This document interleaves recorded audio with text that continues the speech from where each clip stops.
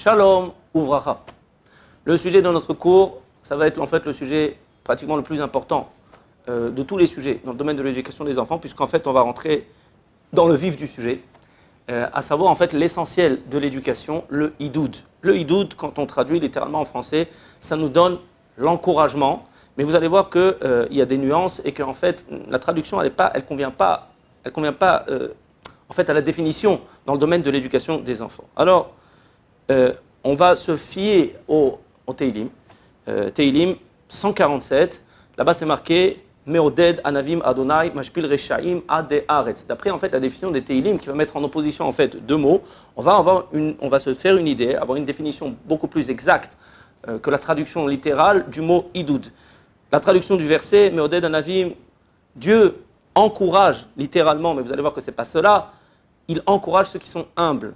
Mashpil Reshaim et il humilie les Reshaim, les impies, jusqu'à la terre. En fait, donc de ce verset, on voit qu'en fait, la véritable définition du mot idoud, c'est pas comme dans l'hébreu moderne, pour ceux qui connaissent l'hébreu moderne, mais en fait, c'est l'inverse, l'antithèse de, euh, de l'humiliation. Donc, si maintenant, on va essayer de chercher maintenant en français tous les antonymes de, euh, de l'humiliation, ça va nous donner exaltation, épanouissement, glorification, louange. Donc en fait, toutes ces choses-là, quand ça va être évidemment, vous l'avez bien compris, dirigé vers le comportement de l'enfant, vont être en fait le propre de l'éducation. Pourquoi est-ce que ça va être le propre de l'éducation et l'essentiel de l'éducation? Je vous rappelle qu'on avait vu lors des cours d'introduction, quand on avait essayé de donner une définition sur l'éducation, c'est quoi l'éducation On avait, on s'était référé au verset de Michelet, Shlomo Ameler, qui nous dit Chanor lanar al pidargo, gam ki askin lo mimenu. Éduque l'enfant d'après sa voix, d'après ses tendances, et de cette façon, et seulement de cette façon, lorsqu'il va grandir, eh ben, il ne va pas se détourner en fait des valeurs de la voix que tu lui auras inculquée. Et donc, en fait, ça veut dire que, à proprement dit, d'après la Torah, d'après la définition, de la Torah, le, le propre de l'éducation, en fait, c'est le long terme. Contrairement, en fait, à l'éducation goy à laquelle on a été habitué dans la société occidentale, qui est très superficielle. C'est-à-dire que quand euh, dans la société occidentale, qu'est-ce qui est appelé un enfant bien éduqué? Ben, C'est un enfant en fait qui se tient bien à table, qui est, qui est propre, qui est sage, qui est bien habillé, d'accord? En gros, c'est un enfant qui est bien dressé. Nous, quand on parle d'éducation dans le domaine de l'éducation dans, dans, la Torah, on parle de beaucoup plus que ça. On parle de quelque chose qui est beaucoup plus profond que ça, puisque en fait, c'est des valeurs, c'est des comportements, ce qui vont en fait accompagner en fait l'enfant absolument toute sa vie.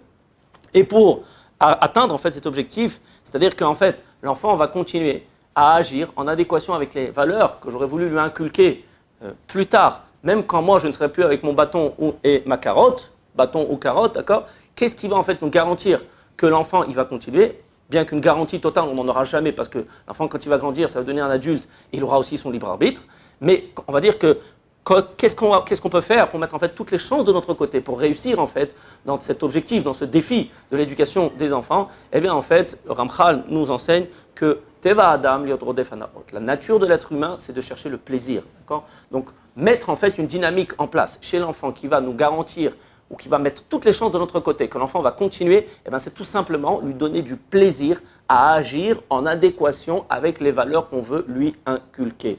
Et donc, du coup, les ensembles des paroles ou les ensembles des actions que je vais faire qui vont réveiller chez l'enfant du plaisir au moment précis où il va agir en adéquation, avec ses valeurs que je veux lui inculquer, eh bien en fait on va appeler ça du chinou, on va appeler ça de l'éducation. Et attention, à Botan, on ne va pas revenir là-dessus, mais quand même, du coup, ça voudrait dire que tout ce que je vais faire qui pourra réveiller chez l'enfant en fait du déplaisir, alors qu'il est en train d'agir en adéquation avec les valeurs que je voudrais lui inculquer, eh bien en fait ce sera de l'anti-éducation. Et donc, quelquefois, on est persuadé qu'on est en train d'éduquer, mais en fait, on est en train d'anti-éduquer. Prendre peut-être comme un petit exemple là-dessus. Par exemple, vous avez un papa maintenant qui veut éduquer son enfant à prier, d'accord? Et donc, pour lui, la prière, c'est hyper important. Donc, il va être tout le temps en train de surveiller son fils, s'asseoir à côté de lui à la prière, pour voir s'il prie bien, pour voir s'il rêve pas, pour voir s'il n'oublie pas un mot, d'accord? Ce qu'il est en train de faire, à Botaï, c'est de l'anti-éducation. Pourquoi? Parce que quand l'enfant, il sent qu'on le regarde, et il se sent stressé par le père, il fait hum, hum, faut prier, hum, ça le hum, regarde le sido, d'accord? C'est quelque chose d'extrêmement désagréable quelquefois, il faut tout simplement se poser la question, est-ce que nous, on aurait aimé qu'on nous fasse cette chose-là? L'enfant, il n'est pas si différent de l'adulte que cela. Euh, peut-être dans le sens où il est beaucoup plus émotionnel et affectif que l'adulte. Quoi qu'il arrive, les choses qui sont désagréables pour nous, c'est évident qu'elles sont aussi désagréables pour l'enfant. Donc ça, c'est de l'anti-éducation. Et donc, du coup, maintenant, si le propre de l'éducation, en fait, c'est l'ensemble des actions, l'ensemble des paroles qui vont réveiller chez l'enfant du plaisir au moment où il va faire cette action, qui est en adéquation avec ces valeurs que je voudrais inculquer, eh bien en fait, du coup, on se rend compte très très vite que vous n'avez pas un cli, vous n'avez pas un instrument qui est plus puissant que le hidout, qui est plus puissant que tout simplement le fait de valoriser, le fait de glorifier, d'épanouir, pour essayer de reprendre les termes, même s'il n'y a rien, rien d'exact, d'exalter en fait le comportement de l'enfant au moment où en fait où il va se comporter comme moi je le souhaiterais. Bien entendu, le but de l'éducation c'est pas pour des intérêts personnels, mais c'est tout d'abord pour l'intérêt de l'enfant. Alors c'est vrai que euh, dans ce sens-là, euh, la définition en fait de l'éducation, c'est vrai que c'est plus large, parce qu'en fait tout ce que je peux pouvoir faire pour réveiller du plaisir, ça va rentrer quand même dans la définition de l'éducation. Par exemple, on avait fait un cours sur les associations. Si maintenant je peux associer euh, le, comportement de l'enfant à quelque chose d'agréable, avec un verre de coca, avec une sucette, avec quelque chose. C'est vrai que ça aussi, ça va réveiller du plaisir. Mais on avait aussi expliqué dans un cours d'introduction, on va le répéter aussi rapidement, que en fait, dans le, dans, le, dans le cerveau de l'être humain, les associations ne marchent pas quand vous avez quelque chose qui appartient à la catégorie plaisir et quelque chose qui appartient à la catégorie déplaisir. Donc il va falloir absolument faire en sorte que l'action que l'enfant est en train de faire qui naturellement est déplaisante, parce que si elle était plaisante, j'aurais pas besoin d'éduquer, d'accord? Qui est rébarbative, qui est difficile. Il va falloir absolument faire en sorte que cette action va devenir en fait plaisante, va rentrer en fait dans la catégorie plaisir, et seulement à ce moment-là, elle pourra s'associer avec quelque chose qui est plaisant. Donc là encore, dans ce sens-là, on revient, ça revient à dire que le hidoud, en fait, c'est le seul instrument qu'on va avoir pour en fait éduquer les enfants. Alors, c'est vrai que, comme on l'a dit au début du cours, quand on va traduire le mot idoud, ça nous donne encouragement. Et quand on entend le mot encouragement, et eh bien en fait, ça a une connotation qui va, qui va en fait nous tromper. Encouragement, quand on dit encouragement en français, ben, on entend un petit peu encouragement, c'est comme quelqu'un qui n'arrive pas à faire quelque chose, et je lui dis vas-y, vas-y, encore un peu, vas-y, vas-y, vas-y, tu vas y arriver, tu vas y arriver. Ou alors, quelqu'un qui n'arrivait pas à faire quelque chose, et puis d'un seul coup il y arrive, et je lui dis ah, tu vois, quand tu veux, tu peux. Rabotaille, ces deux choses-là, c'est à proscrire c'est à l'antithèse, en fait, de la notion du hidoud dans le domaine de l'éducation des enfants. Parce que c'est quelque chose qui va, non seulement ça ne va pas encourager l'enfant, mais en plus ça va réveiller chez l'enfant, en fait, une slida. C'est-à-dire qu'il va avoir tendance à complètement repousser votre hidoud. Je vous rappelle que le premier qui a fait cela, stimuler, motiver quelqu'un pour faire quelque chose, mais sachant très bien que lorsqu'il va faire cette chose-là, en fait, il est en sur-régime, il est en sprint, et ensuite, tu dis, ben, maintenant tu vas continuer, c'est Paro qui a fait ça. C'est Pharaon qui a fait ça avec les Israël. Le début de, de, l'esclavage, début du Shiabout, d'abord Paro payait les Israël pour travailler. Il les payait très bien. Il les, a motivés, il les a stimulés pour faire un maximum de rendement de briques par jour. Et une fois que les Israël étaient habitués à ce rendement, pour lequel en fait ils devaient travailler d'arrache-pied, Paro il dit maintenant vous bougez plus de ce rendement et je ne vous paye plus. Ça reviendrait Rabotaï à dire, c'est pas seulement parce que c'est Paro, c'est Pharaon qui agit ainsi, que c'est quelque chose qui est complètement injuste, quelque chose de, complètement cruel. Ça reviendrait à dire à une personne qui est en train de sprinter, je lui dis vas-y sprint, il sprint, il sprint, il sprint, il sprint, et je lui dis ah tu vois tu peux, alors vas-y continue à sprinter maintenant. Mais on ne peut pas sprinter toute sa vie, c'est pas possible. C'est complètement aberrant, c'est complètement injuste, d'accord? Donc c'est évident que quand on va dire à l'enfant ah tu vois quand tu veux tu peux, c'est quelque chose qui va le pousser en fait à complètement se fermer et à se mettre systématiquement en échec parce que c'est quelque chose qui est complètement injuste et quelque chose qui est, euh, qui est complètement faux, d'accord?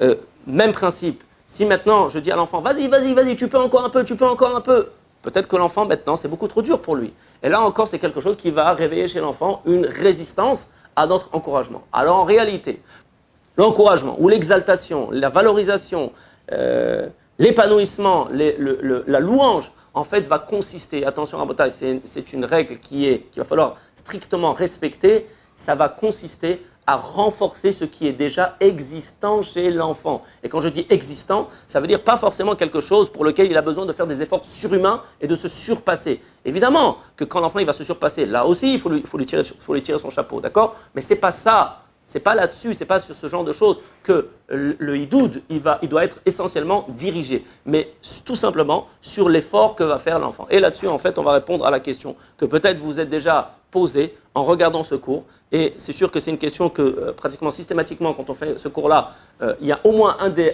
participants qui a posé cette question. Mais rave, si maintenant je me mets à valoriser systématiquement mon enfant quand il va faire une bonne action, mais je peux en faire un orgueilleux. C'est marqué dans la Torah, c'est marqué dans les chiffres Moussar, dans les Magdoshim, que l'orgueil, vous n'avez pas une, pire mida que l'orgueil. Si je suis tout le temps en train de dire à, mon enfant, waouh, c'est super ce que tu as fait, waouh, c'est génial ce que tu as fait, bravo, kol bah, l'enfant il va devenir un orgueilleux. Oui.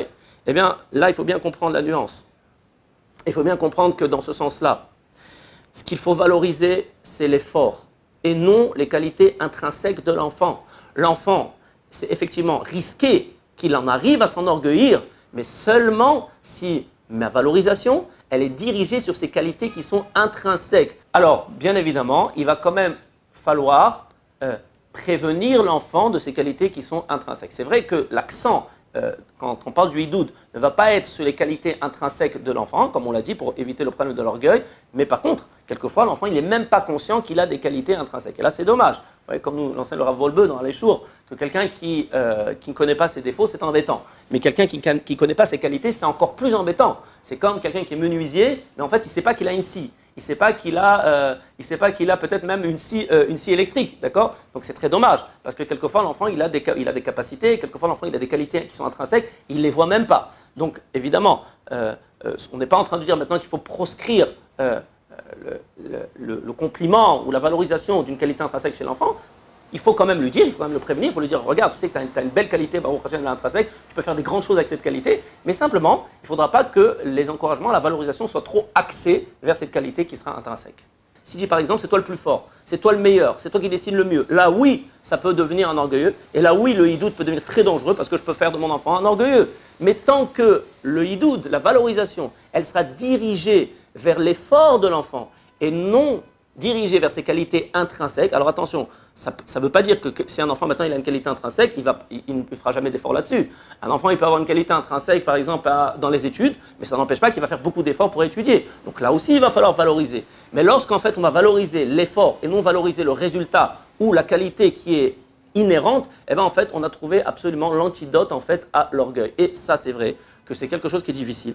Encore une fois, parce qu'on a grandi dans la société occidentale qui valorise le résultat et non l'effort, qui valorise en fait, si vous voulez, la perfection, entre guillemets, d'accord? Parce qu'en fait, c'est complètement illusoire, puisque la perfection n'appartient que à HM. On a grandi avec Superman, avec Batman, avec Iron Man, avec les super-héros, d'accord? Donc, on, a, on nous a complètement fait un, un lavage de cerveau par rapport à ça. Et nous, dans notre tête, en fait, même nous, personnellement, on a du mal à s'auto-encourager, on a du mal à se valoriser, on a du mal à prendre satisfaction de ces actions si on n'est pas, entre guillemets, au top. Et ça, c'est complètement faux, Rabotai, c'est complètement, c'est quelque chose qu'il faut complètement s'enlever de la tête. La Mishnah nous enseigne la Torah, les fum tsara agra, d'après l'effort, le salaire. C'est-à-dire que d'après la Torah, le système de valeur, il est complètement inversé. C'est pas du tout la qualité intrinsèque, ce n'est pas du tout le résultat qui intéresse la Torah, donc qui intéresse à Kadosh Baruch mais c'est l'effort qui va être fourni. Donc un enfant, par exemple, il a fait un effort monstre, mais il a réussi à avoir à son examen qu'une note médiocre, mais il faut, il, faut, il, faut, il faut lui dire bravo, il faut lui dire que la cavote. En contrepartie, un, un enfant maintenant qui, qui a rien fichu, d'accord, et qui a une bonne note à l'école, bon, on peut lui dire, bon, c'est bien, bon, prochaine, tu as une bonne note, d'accord, mais tu as fait un effort. Alors ça ne veut pas dire maintenant qu'il faut le dévaloriser, d'accord? Mais il faut quand même remettre les choses à leur place. Et comme ça, on va éviter en fait ce problème de l'orgueil à travers le hidoud. Et le hidoud, il va prendre, on va prendre en fait tout son sens, il va prendre en fait toute sa puissance pour pousser l'enfant à, à, Od ve od, vous voyez, c'est même dans, dans l'étymologie du mot idoud, on retrouve en fait l'idée du idoud. Idoud, ça vient de la racine ain dalet avec un cholam, ça nous donne od, ça veut dire encore. C'est-à-dire que l'idoud, le hidoud, c'est ce qui va pousser l'enfant à avoir envie de faire encore et encore et encore. Et là, c'est merveilleux, Rabotaille, parce que quand vous avez donné cette clé à l'enfant, c'est une clé dans la vie. Quand vous avez donné à l'enfant, en fait, cette capacité de tirer satisfaction, de prendre du plaisir, simplement de l'effort qu'il a fait, même s'il n'a pas forcément réussi, même s'il n'a pas forcément excellé, eh bien, vous lui donnez le secret en fait de la réussite dans la vie. Parce que dans la vie, on n'a pas que des réussites. Quelquefois, on a entre guillemets des échecs bien que d'après ces définitions qu'on a données, ce n'est pas un échec. À partir du moment où on a fait un effort, on a fait de son mieux, ce n'est pas un échec. On a fait ce Baruch nous a demandé. Et quand on fonctionne d'après ce référentiel, eh ben en fait, on ne fait que avancer dans la vie. On fait que monter. On fait que progresser. Mais quand par, par contre, Khalila, on tombe dans ce, dans, ce système de valeurs qui est erroné, qui nous a été inculqué par la société occidentale, de toujours être axé vers la perfection, toujours être axé vers le résultat, eh ben, il y a des périodes dans la vie où on va complètement déprimer parce qu'on voit qu'on n'arrive pas dans quelque chose et on n'est pas forcément doué dans tout, et on va complètement déprimer, on n'arrivera à rien. Alors que c'est bien dommage, parce qu'on aurait pu arriver beaucoup plus loin si on avait ce système de valeurs. Donc à nous, parents, d'inculquer nos enfants à ce système de valeurs de la Torah à travers le hidoud, et comme cela, on pourra en fait accomplir les paroles de Michelet. Baruch Adonai, amen, ve amen.